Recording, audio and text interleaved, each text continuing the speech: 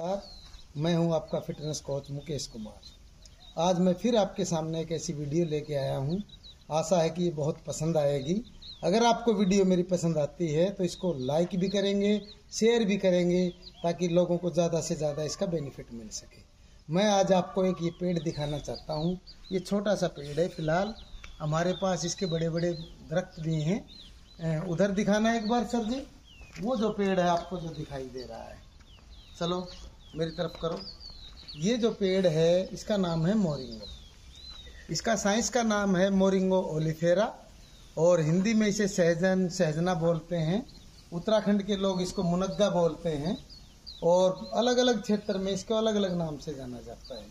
हमारी प्राचीन आयुर्वेदिक पद्धति में इसको चमत्कारिक पेड़ बोला जाता है। चमत्कारिक पेड़ क्यों बोला जाता है? क्योंकि ये बहुत ज़्यादा बीमारियों में काम आता है। लोग तो कहते हैं कि ये दस हज़ार बीमारियों को दूर करने का मादा रखता है, लेकिन मैं आपको बताऊँगा, जो मेन मेन हमारी बीमारियाँ हैं, उनमें कहाँ कहाँ ये काम आता है। ये सबसे ज़्यादा आयरन की कमी को पूरी करता है। आयरन पालक में होता है तो पालक से लगभग 20 गुना ज़्यादा आयरन इसके अंदर होता है। दूध से 17 गुना ज़्यादा इसके अंदर कैल्शियम होता है। मिनरल्स का ये भंडार है। बहुत भारी मात्रा में इसमें मैग्नीशियम, फास्फोरस जैसे तत्व मौजूद हैं और बहुत सारी बीमारी, ये एंटी फंगल होता है एंटी इन्फ्लेमेटरी होता है एंटीबायोटिक होता है। कितने ही इसके ऐसे गुण हैं जिनकी वजह से लोग इसको बहुत अच्छा पौधा मानते हैं।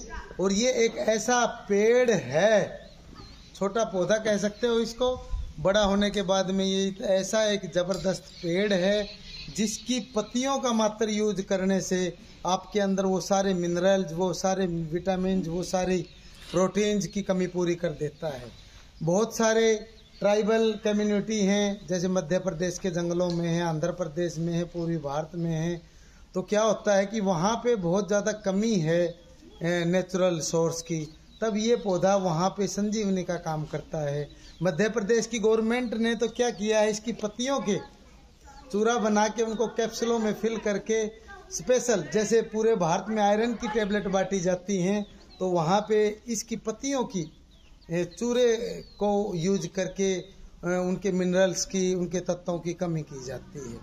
तो आशा है इस पेड़ के बारे में आप बहुत सारी चीज़ें जान गए हैं और इसकी जितनी भी चीज़ें हैं आप यूज़ में कर सकते हैं। इसकी जो ड्रम स्टिक्स होती हैं, डोसा के साथ सांभर में आप अक्सर किसी होटल्स वगैरह में जाते हैं, जो ही आप डोसा का ऑर्डर करते हैं तो देखोगे कि सांभर में ड्रम स्टिक होती हैं।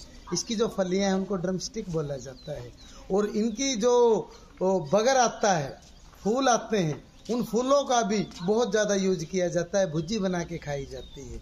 क्योंकि उन लोगों को पता है कि इस पेड़ के अंदर कितनी ज़्यादा प्रचुर मात्रा में इतनी पोटेंशियल छिपी हुई है कि आपके स्वास्थ्य को बिल्कुल फिट एंड फाइन रखती है। तो आशा है ये वीडियो मेरी आपको पसंद आएगी। आप इसको शेयर कीजिए और सब्सक्राइब का बटन भी दबाएँ। Thank you